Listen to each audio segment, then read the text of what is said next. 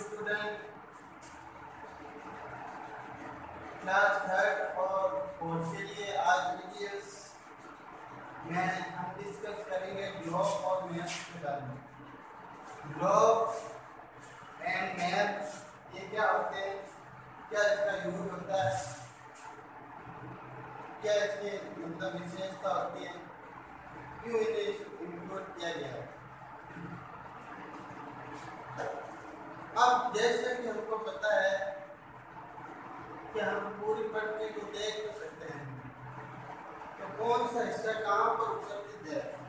यहाँ कहाँ पर मौजूद है? उसकी स्टडी करने के लिए, उसकी स्टडी करने के लिए हम ग्लोब का यूज़ करते हैं। ग्लोब जो होता है, वो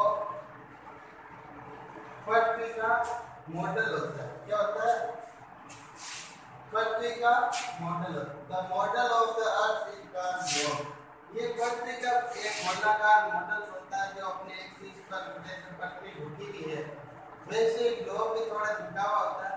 और इसमें सभी जो महाद्वीप, महासागर और छोटे बड़े जो जो भी देश है, इसकी जानकारी हमें प्राप्त करनी है तो वो सब ग्लोब पर मौजूद है।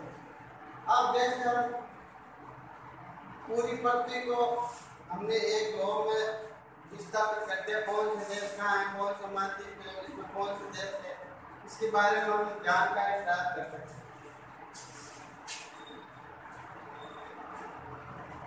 आप जानते हो कि एक समय में ग्लोब में आप आधा हिस्से देख पाते हो और आधा हिस्सा दूसरी तरफ़ होता है।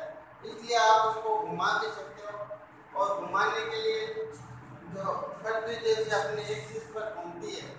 और सूर्य के चारों ओर भी चक्कर लगाती है। आपको पता होगा कि सूर्य मध्य में होता है।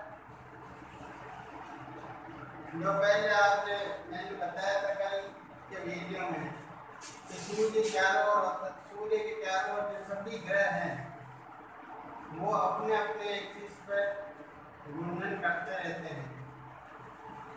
ऐसे एक रेखा बनती रहती है और सभी जो ग्रह है वह आपस सूर्य के चारों अपने पर घूमते रहते हैं उसके अलावा जो पृथ्वी है, वो खुद भी घूमती है। अपने एक्सिस पर। अपने अक्ष पर खुद भी घूमती है। तो उसी प्रकार ग्लोब है, उसका आधा हिस्सा देख पाते हैं और आधा हिस्सा हम देख नहीं पाते तो उसको घुमाया जाता है, ताकि हम आधा हिस्सा देख सकें। और दिन और रात का प्रोसेस भी इसी का कारण होता है। जैसे ये पृथ्वी है और सूर्य है ये इधर और पृथ्वी है इधर। तो जो हिस्सा सूर्य की तरफ़ आता है, वहाँ इससे डे होता है और इधर नाइट होती है। फिर रोटेट करते हुए ये ये हिस्सा वापस इधर आ जाता है तो यहाँ दिन हो जाता है, यहाँ रात हो जाती है। उसी प्रोस्पेक्ट अगर हमें अमेरिकन कॉन्टिनेंट देखना है अमेरिका महाद्वीप देखना तो हमें अफ्रीका महाद्वीप नहीं दिखेगा अमेरिका महाद्वीप दिख जाएगा और अगर हमें अफ्रीका देखना है तो अमेरिका महाद्वीप नहीं दिखेगा, अफ्रीका दिख जाएगा। तो हम ये पूरा रोटेशन का निर्भर करता है। ग्लोब से जो पूरी विशाल पृथ्वी है, उसका जो पूरा जो भी एरिया उसके बारे में डिस्क्रिप्शन मिल जाता है। जैसे पृथ्वी है, ये ये अर्थ है। पृथ्वी का कौन सा हिस्सा कहाँ पर है, कौन सा महाद्वीप कहाँ पर है, उसके बारे में अगर जानकारी प्राप्त करनी है तो आप ग्लोब का इस्तेमाल कर सकते हो। पर इसमें छोटे से छोटे एरिया के बारे में जानकारी आपको नहीं मिल पाएगी। जैसे आपको ग्लोब में पता करना हो मेहरता के बारे में तो मेहरता के बारे में आपको जानकारी इसमें नहीं मिल सकती वो बहुत का मॉडल है तो इसमें छोटे से छोटे एरिया दिखाई नहीं देते बड़े एरिया जैसे दिखाई देते जैसे कोई देश है, देश दिखाई दे सकता है कॉन्टिनेंट दिखाई दे सकते हैं ओशन दिखाई दे सकते पर छोटे शहर, गाँव, कस्बे, ये देखने के लिए आपको दूसरी मैप इसका यूज़ करना पड़ेगा। लोग से आपको ज़्यादा विस्तार में जानकारी पट्टी के संदर्भ में मिल पाएगी। पर छोटे से छोटे एरिए की डिस्क्रिप्शन अगर आपको चाहिए तो उसके लिए मैप की आवश्यकता। Map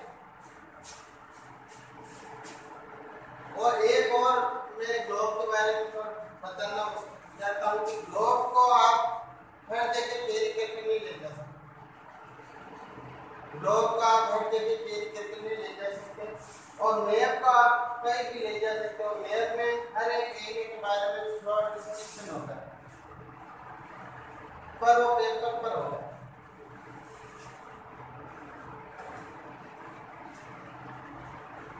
Map is a drawing of the earth or a part of it.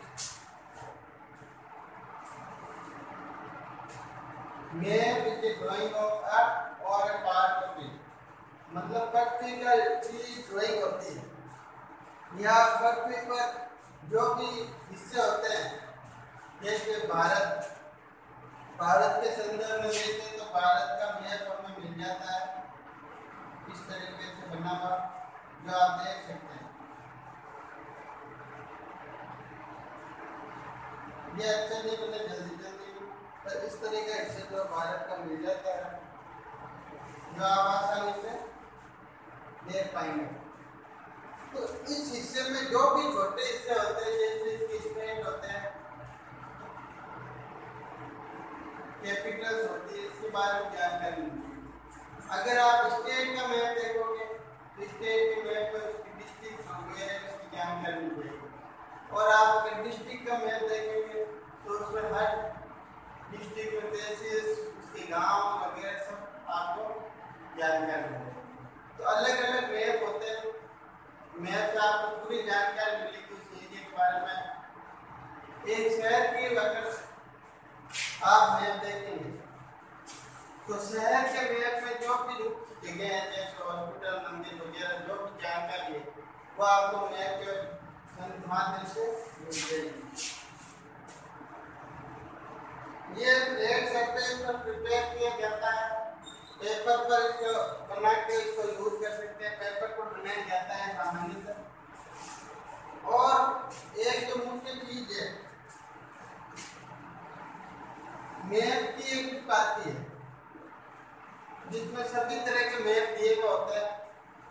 उस बुक को एटलस कहते हैं। क्या कहते हैं एटलस मैप की जो बुक होती है उसे एटलस कहते हैं। उसमें सभी देशों के, सभी मतलब देशों के और सभी देशों के मुख्य जो बहुत सारे जो अलग अलग डिस्क्रिप्शन बुक आएगी, उसमें आपको उसके बारे में जानकारी मिल जाएगी तो आज हमने ग्लोब्स मैप और एटलस के बारे में पढ़ा।